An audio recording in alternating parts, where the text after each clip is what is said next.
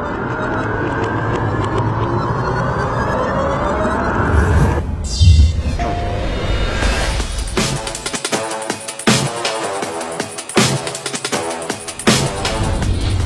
talk Sweet Tooth. Yeah, this is the, the signature character here from Twisted Metal. Yep. Long and storied history. What made you want to put him in PlayStation All Stars? made a lot of sense for us to get you know the clown out of the truck and, and really play up his personality a lot more than perhaps uh, the truck affords, and to get some of the more essence of what that character is and sort of his brutal, his uh, sensibilities in the game. What would you say from a beginner strategy? What's a good place to start with Sweet Tooth? Uh, Sweet Tooth is a very straightforward character in terms of his play style. It's really single individual moves.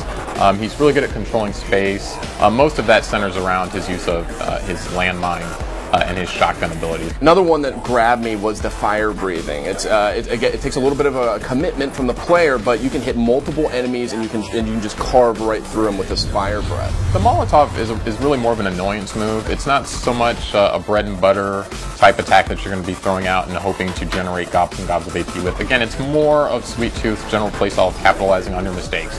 Sweet Tooth also has a couple of effective uh, area of effect type juggles. There's one where he kind of pops a Molotov cocktail over his head and sends guys flying up into the air.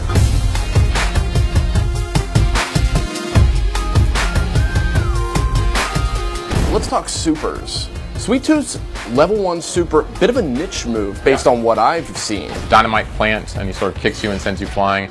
It's clearly suited towards uh, attacking one person. Level two super with Sweet Tooth is killer. That's the guided nuke. It's right out of the nuke mode in the new Twisted Metal game. Uh, the guided nuke, once it, it fires off the platform, Sweet Tooth has sort of entire complete control over the direction and the trajectory of that missile. He actually even pulls out a little PlayStation DualShock and uh, and controls it around the level. I mean, the level three speaks for itself. I mean, let's Sweet Bot, he's back, and, and, and it's, it's a little bit of a nod to how Kratos' uh, level three works, but it's different. It's got the chain gun that allows him essentially full screen uh, access if, if you're in front of Sweet Tooth and he pops Mecha Tooth and he starts that chain gun attack.